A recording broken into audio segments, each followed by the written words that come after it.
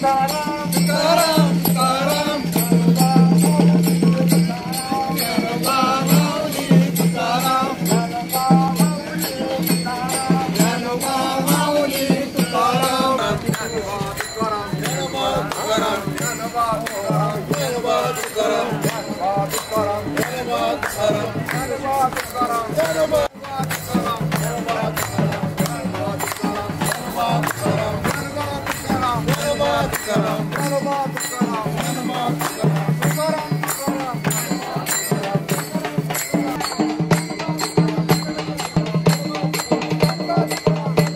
खरं तर निसर्गाच्या सहवासातले आनंदाचे क्षण नवनवीन कला व संस्कृती जाणून घेण्याची माणसाची मूळ प्रवृत्ती हाच पर्यटनाचा खरा आधार आहे.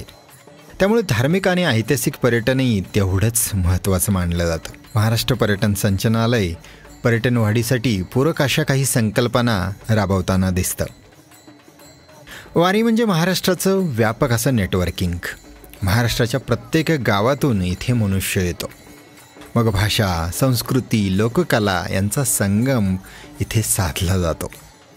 अशा आषाढी वारीत शेतकरी आणि वारकरी मोठ्या संख्येने सहभागी होतात.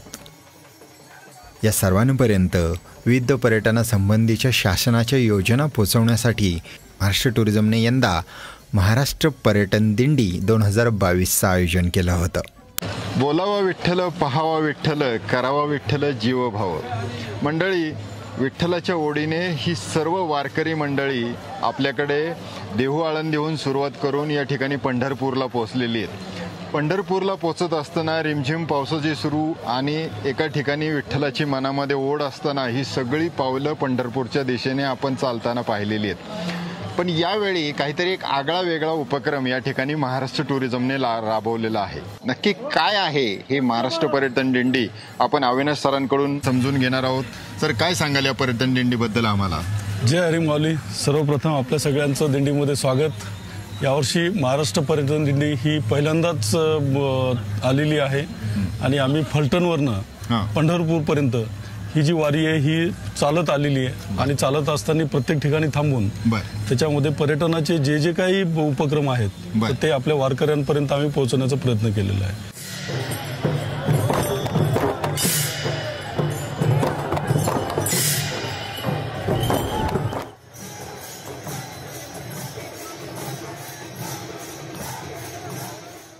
नमस्कार मी Hanumant Hede deputy director tourism Konkan division Navi Mumbai. पर्यटन संचालय आणि महाराष्ट्र शासन पर्यटन विभाग यांच्या संयुक्त विद्यमाने या यावर्षी प्रथमतःच महाराष्ट्र पर्यटन दिंडी दोन हजार बावीस ही आयोजित केलेली आहे. पर्यटन संचालनालय आणि महाराष्ट्र पर्यटन विभाग यांनी जाहीर केलेल्या योजना की जसं ॲग्रो टुरिझम असेल ॲडव्हेंचर टुरिझम असेल इंडस्ट्रीयलचं स्टेटस असेल किंवा कॅरेव्हॅन पॉलिसी असेल ॲडव्हेंचर टुरिझम पॉलिसी असेल या पॉलिसीचे धोरणाची माहिती तळागाळातील लोकांपर्यंत पोहोचण्याच्या दृष्टिकोनातून आपण ही महाराष्ट्र पर्यटन दिंडी दोन हजार बावीस ही आयोजित केलेली आहे. आता आपण जी रेग्युलर जी गाडगे महाराज आहेत हां. त्यांची जी दिंडी आहे तर ती जवळजवळ अडीचशे लोकांची दिंडी आहे. बर. त्यांच्यामध्ये आमचे जे काही सहकारी आहेत ते तीस लोक आहेत.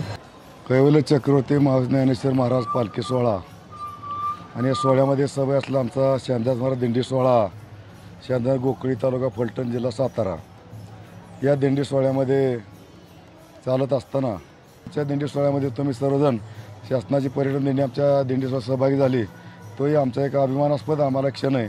म्हणून या ठिकाणी मी सर्वच पर्यटन विभागाचे संचालक असतील किंवा त्यांचे सर्व पदाधिकारी असतील सर्वच आणि त्यांचे सर्व स्वयंसेवक हे आमच्यामध्ये चालल्यामुळे आमच्या दिंडीला एक वेगळ्या प्रकारचं स्वरूप या ठिकाणी प्राप्त झालं. त्याबद्दल त्या गोष्टीचा आम्हाला व्यक्तीच्या आणि दिंडीच्या वतीनं मी आनंद अत्यंत अभिमानास्पद आनंद आहे.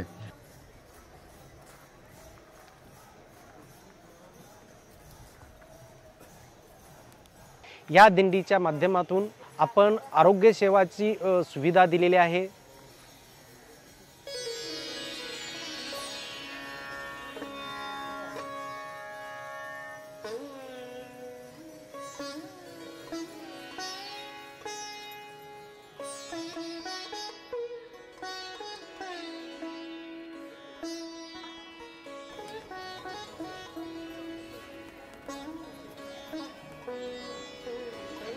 नमस्कार मी डॉक्टर सुयोग कुमार भवरे आयुर्वा हॉस्पिटल पुणे येथून सध्या महाराष्ट्र राज्य पर्यटन दिंडी दोन हजार बावीससोबत कार्यरत आहे. आम्ही दिंडी दवाखाना असं महाराष्ट्र पर्यटन दिंडीमध्ये चालवतो आहे. ही माझी टीम आहे आयुर्वा हॉस्पिटलची पूर्ण. आणि आम्ही गेले दहा दिवस एक जुलैपासून काम करतो आहोत. रोज येणारे नवीन नवीन पेशंट आणि पेशंटची संख्या खूप आहे. प्रामुख्याने याच्यात सापडणारे जे आजार आहेत त्यात अंगदुखी जास्त आहे. लोकांचे पाय दुखत आहेत गुडघे दुखत आहेत सर्दी खोकला होत आहेत काही काहींना पाईल्सचा त्रास होतो आहे टॉयलेटला वॉशरूमला वेळेवर न झाल्यामुळे उपलब्ध सुविधा नसल्यामुळे जे गॅस्ट्रायटिसचे प्रॉब्लेम होत आहेत ते प्रॉब्लेम होत आहेत अशा बऱ्याच वेगवेगळ्या प्रॉब्लेमला लोक सांभाळले जातात आणि आमच्याकडून शक्य होईल तेवढ्या परीने आम्ही त्यांची सेवा करण्याचा प्रयत्न करतो आहे दिंडी दवाखान्यामध्ये आम्ही आत्तापर्यंत जर ॲव्हरेज बघितलं तर दररोज साधारणतः आम्ही एक सात आठशे रुग्ण तपासतो आहोत. आणि ज्या गरजेनुसार त्यांना गोळ्या औषधं तर देतोच आहे. पण एक मिलिटरी हॉस्पिटल जसं असतं वॉर एक फील्डवर तयार होतं तसंच टाईपचं आम्ही एक हॉस्पिटल सेटअप करत असतो. महाराष्ट्र राज्य पर्यटन दिंडीमधला हा आमचा जो उपक्रम होता दिंडी दवाखाना याचा अनुभव फारच वेगळा होता. कारण कुठलंही बेसिक इन्फ्रास्ट्रक्चर नसताना रस्त्यावर मिळेल अशा ठिकाणी आम्ही पावसात पण सेटअप लावत होतो. तर खूप चांगला अनुभव होता की बेसिक इन्फ्रास्ट्रक्चर नसतानाही फक्त सेवा करण्याचा भाव आणि रुग्णांना बरं करण्याची ह्या इच्छेने आमच्या पूर्ण टीमने ह्या प- दिंडीमध्ये सगळं कार्य केलेलं आहे. नक्कीच येणाऱ्या सगळ्या महाराष्ट्र राज्य पर्यटनाच्या दिंडीत आम्हाला सहभागी व्हायला पुन्हा आवडेल आणि या उपक्रमाला अजून जास्तीत जास्त लोक सहभाग कसा प्राप्त होईल यासाठी आम्ही कार्यरत राहू.